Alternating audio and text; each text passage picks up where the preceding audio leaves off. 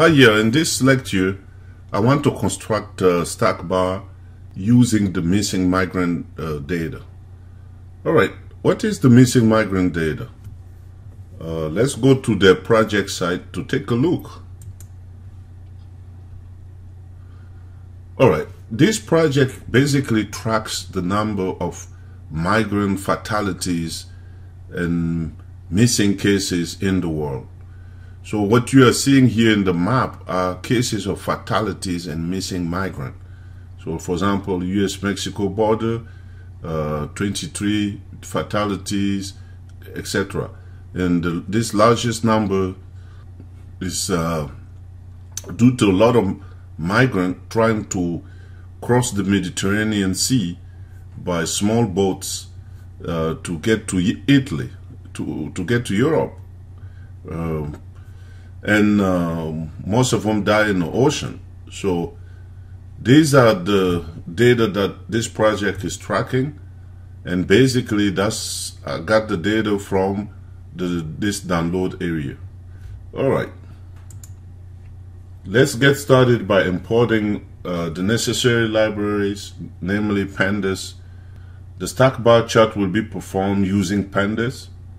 Then I'm importing NumPy I will use NumPy to aggregate the data to get the sum of the total debt by region and uh, year.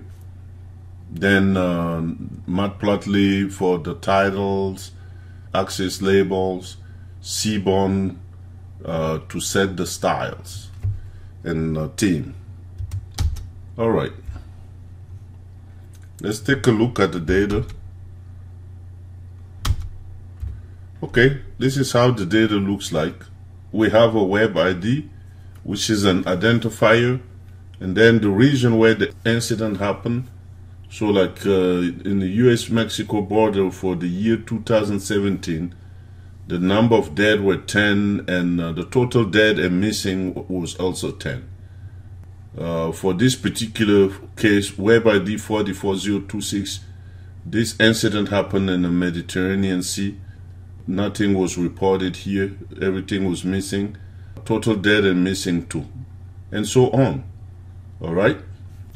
What I'm trying to do is restrict myself to casualties and missing migrant in the area around Africa.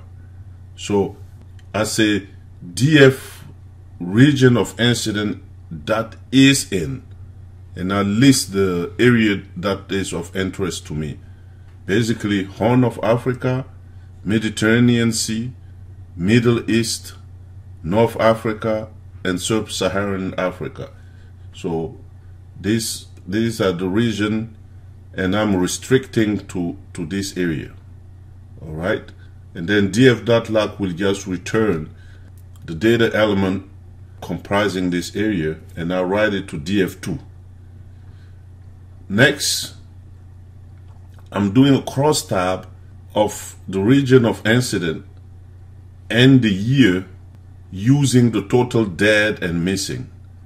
And I will aggregate that using the sum. So I'm using uh, np.sum. All right. So once we do that, let's take a look at the aggregation. So all I'm doing for the region that I selected and uh, the years I'm getting the sum of fatalities and missing migrant. So that's what I'm doing here. Aggregation equal np.sum. So total dead and missing for the Horn of Africa and uh, year 2015 there were 135 missing and dead migrant. All right. Once I created this summary table, then I can use it for the stack bar. By creating the stack bar, these uh, the region of incident will be like the X and each bar will have the year.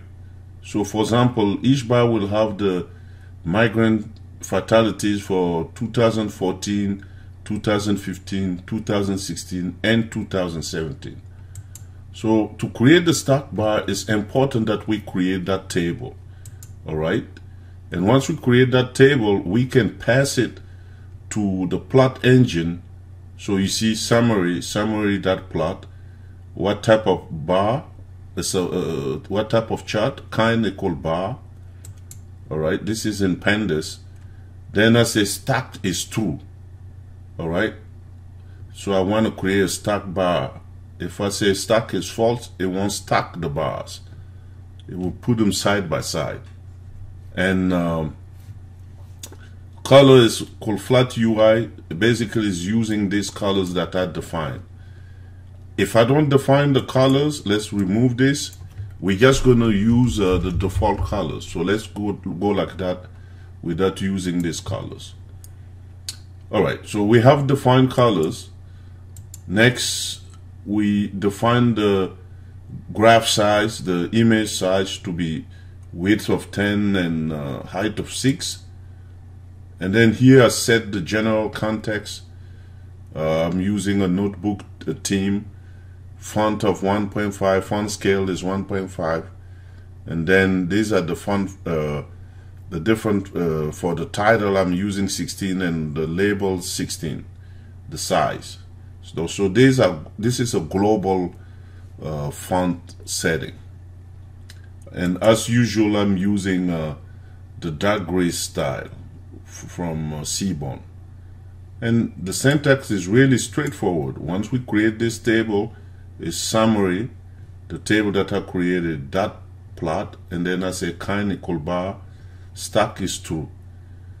And what you are seeing here then is just uh, the title, plt.title, so I provide a title, plt.y label, so provide a label for the y-axis, which is number of death, and then x uh, label, the region of casualties.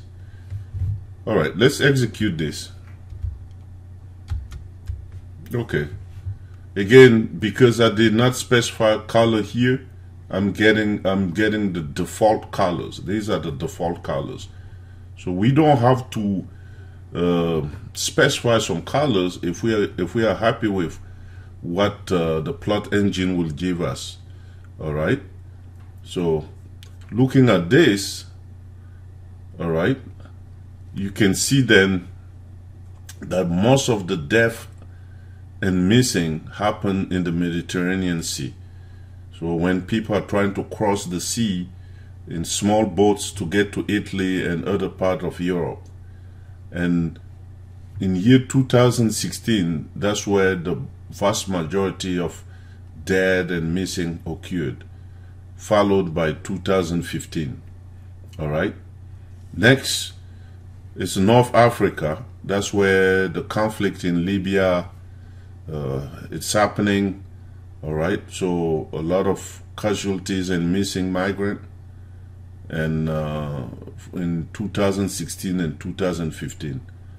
Aside from that, uh, the other areas registered, uh, the other areas in Africa and the Horn registered relatively small number of casualties and missing. All right. Let's suppose then we want to use the colors that are defined. I will just say color or colors, both will work equal flat UI. Actually, colors is going is being deprecated and they want us to use color singular. All right, see, we changed the colors now. Same chart, different colors. Another thing we can do if we don't like the fact that this text is rotated vertically, uh, we can just pass it uh, a plt that x ticks all right. Then uh, a rotation say a rotation equal uh, negative 45 so it's going to tilt it. All right let's take a look you see?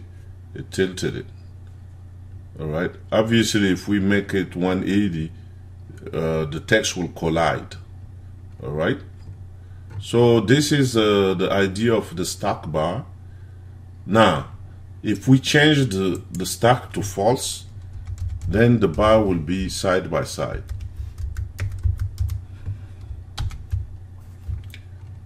So you see, that's uh, here stack is false, so it's not stacked. Again, 2016 being high for the Mediterranean region, followed by uh, 2015. All right, thank you.